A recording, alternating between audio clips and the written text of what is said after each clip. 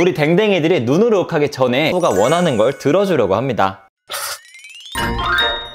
안녕하세요 푸영입니다 자 오늘은 우리 강아지들이 보호자에게 불만을 표시하는 방법들에 대해서 얘기를 해보려고 하는데요 푸가 막 지짐이 많진 않지만 정말 다양한 방법으로 불만을 표시하곤 하더라고요 여러분의 반려견도 이런 행동들을 하진 않는지 한번 체크하면서 보시면 재밌을 것 같습니다 과연 어떤 행동들을 하면서 우리에게 불만을 표시하고 있을까요? 바로 시작할게요 슝! 첫 번째, 째려보기 가끔 어디선가 뜨거운 시선이 느껴질 때가 있는데요. 이렇게 푸우가 눈을 세모나게 뜨며 쳐다보고 있더라고요. 마치 때려보고 있는 것 같아서 부담스럽기도 합니다. 이렇게 강아지가 보호자를 때려보듯이 쳐다보고 있다면 지났거나 제가 혼자 뭔가 먹고 있을 때 뭔가 요구성으로 쳐다보고 있더라고요. 우리 댕댕이들이 눈으로 욕하기 전에 밥은 잘 챙겨줬는지 산책 시간은 지나지 않았는지 미리 잘 챙겨주시는 게 좋습니다. 두 번째, 방해하기.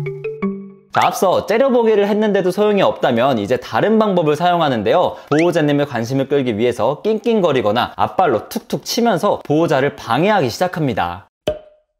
특히 제가 일을 오래 하고 있으면 일 좀 그만하라고 방해를 하는데요. 가끔은 귀찮기도 하지만 그래도 이렇게 의사표현하는 게 귀엽고 기특하기도 해서 보통 이럴 때는 푸가 원하는 걸 들어주려고 합니다. 왜냐하면 다음 단계가 정말 골치 아프거든요. 세 번째, 사고치기. 보호자를 방해해도 소용이 없다면 강아지는 특단의 조치에 나서게 되는데요. 바로 사고를 쳐서 보호자의 관심을 끌게 됩니다. 가장 대표적인 게 바로 이 배변 패드 물어뜯기인데요. 퍼피 친구들이 정말 많이 사용하는 잔머리 수법이에요. 배변 패드를 물어뜯으면 보호자가 나타나니까 보호자 호출용으로 배변 패드를 물어뜯게 되는 거죠. 그래서 강아지가 사고 칠 때 무작정 반응하기보다는 행동을 멈추고 진정할 때까지 기다려주시는 것도 좋습니다. 진정이 되면 그때 원하는 것을 들어주세요. 그러면 원하는 게 있을 때 사고를 치기보다는 기다리는 방법을 배우게 되더라고요. 푸우도 어렸을 때 사고를 진짜 많이 쳤지만 지금은 이렇게 잘 기다리는 편이에요. 네 번째, 이상행동.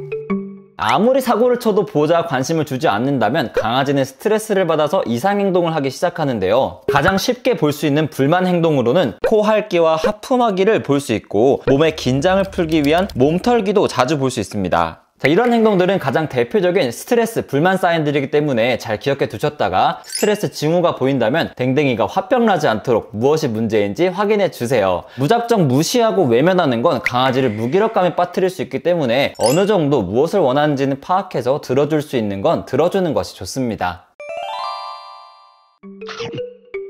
다섯 번째, 난폭한 행동. 강아지의 불만이 극에 달했을 때 우리가 평소 보지 못하는 난폭한 행동들을 볼 수 있습니다. 방석을 미친 듯이 파면서 분노를 표출하기도 하고 온 집안을 댕사인 볼트처럼 뛰어다니는 모습도 볼 수 있습니다. 사실 이런 난폭한 행동을 하기 전에 우리를 쳐다보고 찡찡대고 이상 행동을 보이면서 계속 불만이 있다고 표현을 했는데도 무시를 당하니까 결국엔 터져버리게 되는 것 같습니다.